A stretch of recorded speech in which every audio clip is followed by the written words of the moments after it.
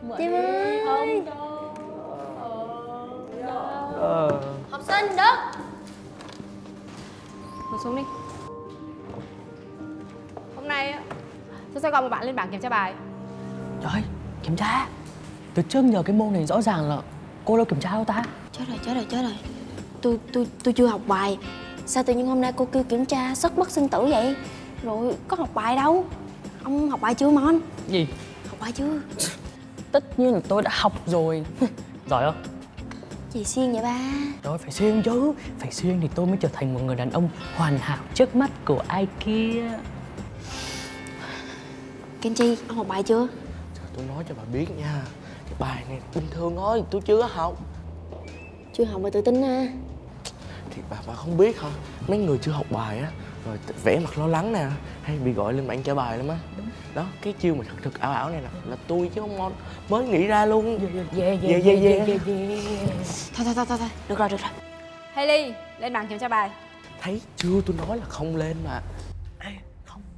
Dạ thưa cô Hôm nay bà Hailey bị bệnh xin phép vắng mặt ạ. Vậy cả lớp lấy giấy ra kiểm tra 15 phút. Ai vắng không điểm Sao cô thừa biết là Hailey nghỉ Mà còn kêu kiểm tra? Vậy là không công bằng cho Hailey rồi.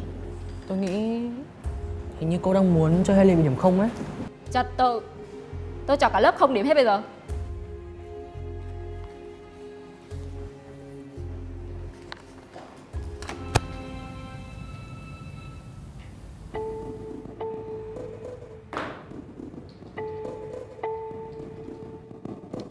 Ờ, cô chào gọi em có việc gì đấy ạ?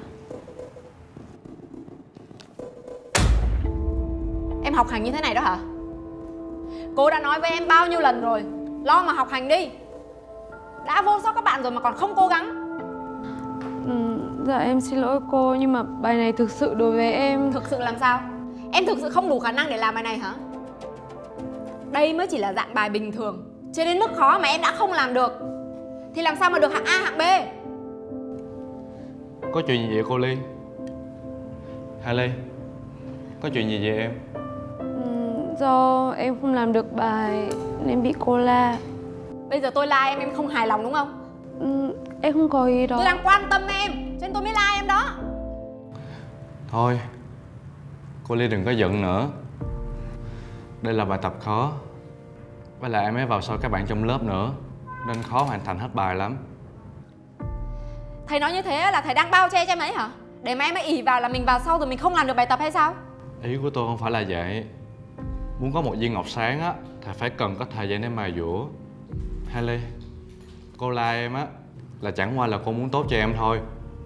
Cho nên Em phải chăm chỉ học hành Tập trung nhiều vào Tăng cường thời gian học hành ở nhà. Như vậy em mới theo kịp các bạn trong lớp nữa. Đừng làm cô thất vọng Nghe không? Dạ, em biết rồi ạ. Ừ. Thôi Em đi về lớp đi. Dạ. Em xin phép cô, xin phép thầy.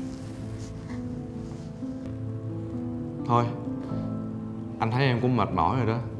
Em đi nghỉ ngơi đi. Anh tin chắc là Em ấy sẽ làm được mà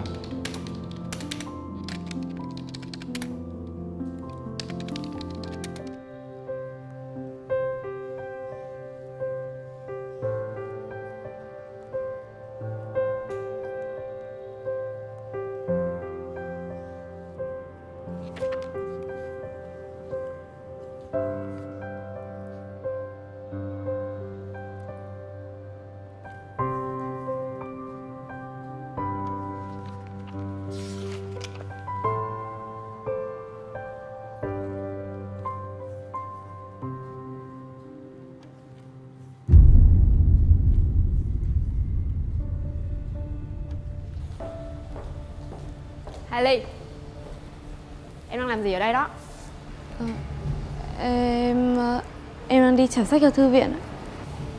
thư viện tôi nhớ ở đằng kia mà tại sao em đứng đây À, à, thì ra hình gì nãy giờ em tìm mãi mà chả thấy. Chắc là do em chưa quen trường ở đây lắm. Trường mình cũng rộng quá mà. bây giờ em biết đường rồi đó em nên đi đúng đường của mình đi Dạ. em nên chú tâm vào học hành Đừng có tơ tưởng và nghĩ rằng ai thích mình, ai giúp đỡ mình Là người ta đang thích mình.